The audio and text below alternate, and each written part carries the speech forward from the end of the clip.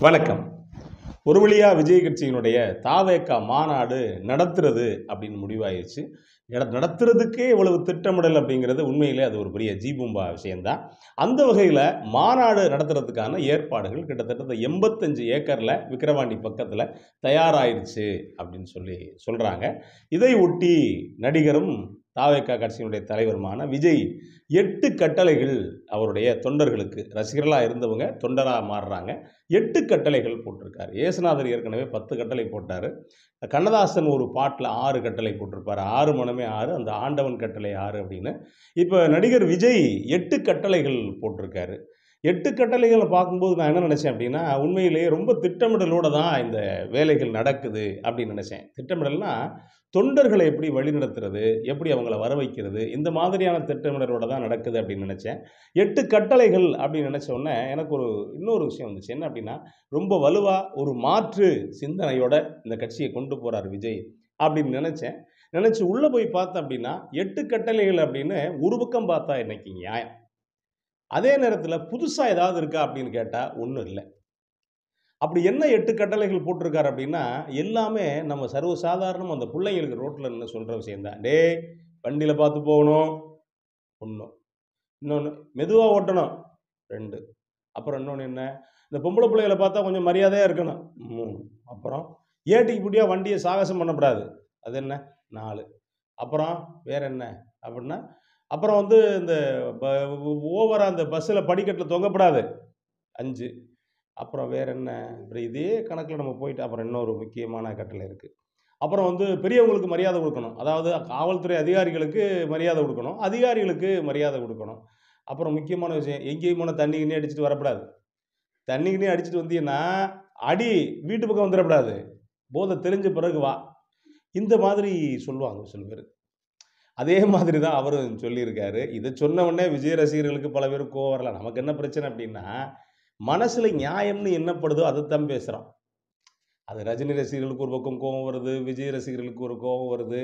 அதுக்கு நம்ம ஒன்றும் பொறுப்பாகவும் முடியாதுன்னு வச்சுக்கோங்களேன். இப்போ ஒரு சில பேர் வந்துடுவாங்க அதுலேயும் ஒரு சில பேர் இந்த இணை அடிமைகள் படுத்துகிற பாடு இருக்க சுத்தமான தமிழில் வந்து கமெண்ட் போடுறாங்க.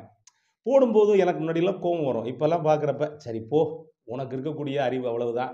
உன் கட்சியோ உன் தலைவனோ உனக்கு ஊட்டின அறிவு அவ்வளவுதான் அப்படி நினச்சிக்கிட்டு நான் பொதுவாக யாராக இருந்தாலும் சரின்ட்டு போயிடுவேன்னு வச்சுக்கோங்களேன். இப்போ இந்த எட்டு கட்டளைகள் போட்டிருக்காரு. இந்த எட்டு கட்டளையோட சாராம்சம் என்ன அப்படின்னா மாநாட்டுக்கு வரும்போது நீங்கள் சரியாக வாங்க. அப்படின்னு ஒரு தலைவனுக்கு இருக்கக்கூடிய என்ன பயமோ அந்த பயம் வந்து விஜய்க்கு இருக்குது அதுக்கு இன்னொரு காரணம் என்ன சொல்கிறாங்க அப்படின்னா ஏற்கனவே விழுப்புரத்தில் ஒருத்தர் பைக்கில் சாகசம் பண்ணி பிரச்சனை ஆயிடுச்சு. அதை ஒட்டித்தான் விஜய் இந்த முடிவு எடுத்திருக்காரு அப்படின்னு சொல்கிறாங்க இதில் எட்டு கட்டளைகள் ரொம்ப முக்கியமான கட்டளை குடிச்சிட்டு மாநாட்டுக்கு வரக்கூடாது அப்படின்னு இருக்காரு. குடிச்சிட்டு மாநாட்டுக்கு வரக்கூடாது அப்படின்னு சொல்லிட்டு ரொம்ப தெளிவான விஷயம். நீ குடிக்காதேன்னு அவர் சொல்லலை.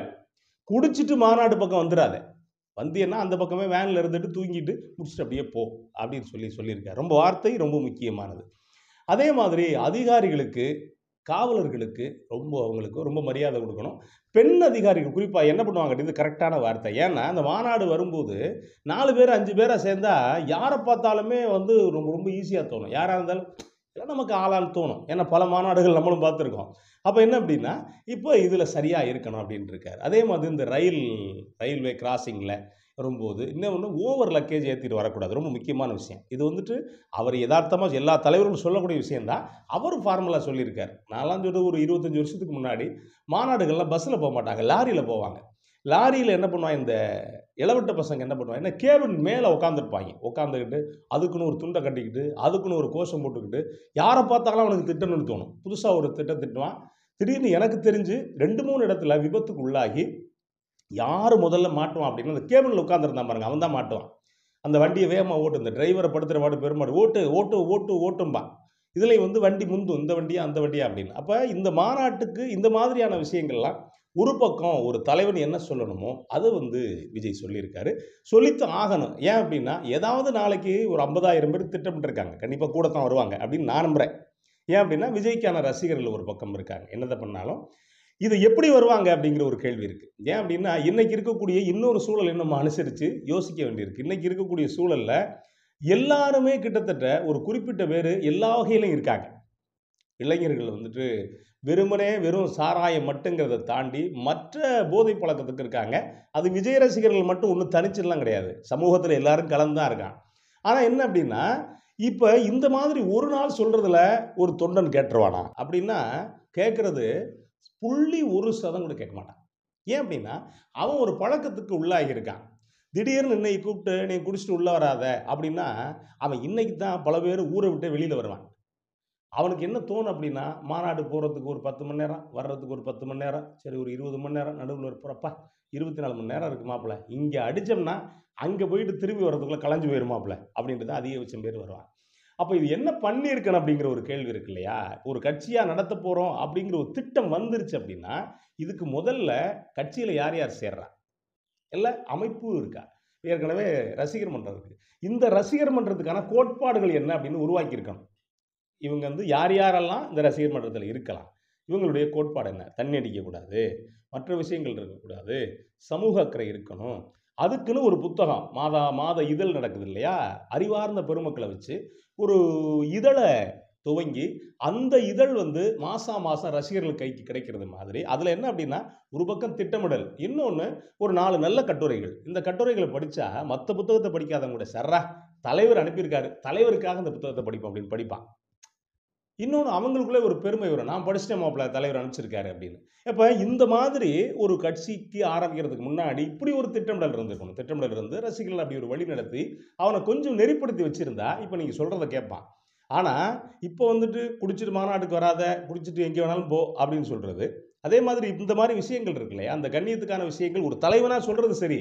ஆனால் இது நடைமுறைக்கு ஒத்து வருமா அப்படிங்கிற கேள்வி இருக்கு. ஏன் அப்படின்னா திடீர்னு சொன்னால் எவனும் அவ்வளோ சீக்கிரம் கேட்க மாட்டான்.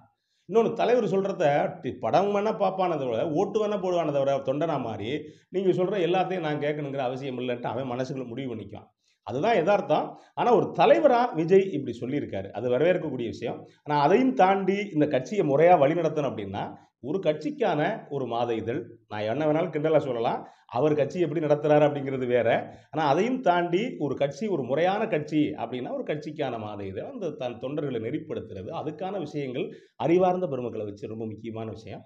அப்படி யாராவது இருந்து கண்டுபிடிச்சா விஜய் அவங்கள வச்சு அதை நடத்தலாம். பின்னாடி மாநாடுகள் எப்படி வருது அப்படின்னு பார்ப்போம். மற்றபடி இதை பார்த்தா இன்னும் வழக்கமான மாநாடு தான். என்ன வேணாலும் நடக்கும் எப்படி வேணாலும் நடக்கும். ஜாலி தான் முழுத பிரதானம் அப்படிங்கிறதான் யதார்த்தம். நன்றி.